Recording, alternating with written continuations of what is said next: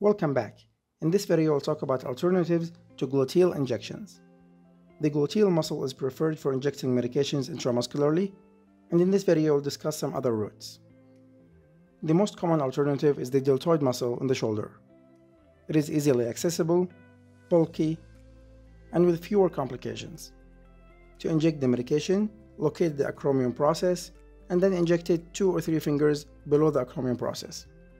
Try to locate the biggest bulb of the muscle and inject the medication there.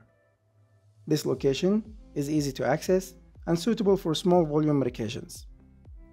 There is, however, some risk of hitting some nerves or arteries, like the radial nerve or the brachial artery. And then we have the vastus lateralis, which is located in the lateral side of the thigh. It's a rather large muscle, and again, once you inject the medication, make sure that you hit the largest bulk of the muscle. This large muscle can take a larger volume of medications, and it doesn't have any important neurovascular structures underneath it, so there is a little risk of complication. But it can be uncomfortable for the patient.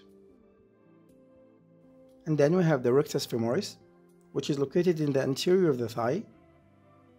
This muscle can be ideal for self-administering medications, but it can be painful in injection, as this muscle is highly mobile. And of course, we have to mention the gluteal injections themselves. And we have the dorsogluteal site, which is the most commonly used. We simply divide the buttock area into four quadrants, and we inject into the upper outer quadrant. This is familiar for many healthcare workers, but there is a risk of injuring the sciatic nerve. The preferred way is the ventrogluteal site, which is at the side of the gluteal area.